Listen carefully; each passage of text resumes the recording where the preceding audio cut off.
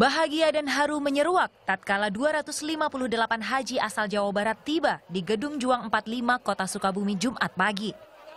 Bertemu dengan keluarga menjadi obat kerinduan setelah 40 hari berhaji. Alhamdulillah barangkali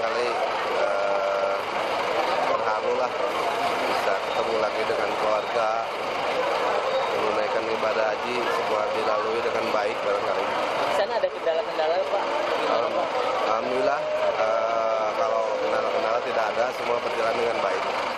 Sementara itu, satu jemaah yang sakit langsung dibawa ke Rumah Sakit Umum Ashifa Kota Sukabumi.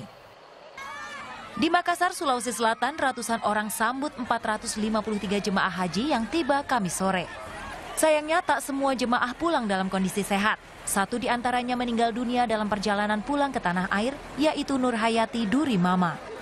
Sementara dua jemaah dari kloter yang sama masih berada di Arab Saudi. Yang kedua ada satu yang ketinggalan, yang namanya Bu Kesturi, karena menurut tadi informasi dari teman bahwa dia itu menggunakan pakaian India Pakistan, ala India Pakistan, sehingga orang tidak tahu kalau dia jemaah haji Indonesia. Ya? Makanya dia karena pakaian, makanya dia dia tertunda untuk berangkat karena tadi ketinggalan pesawat. Para jemaah ini berasal dari Kabupaten Maros, Goa, dan Kota Makassar.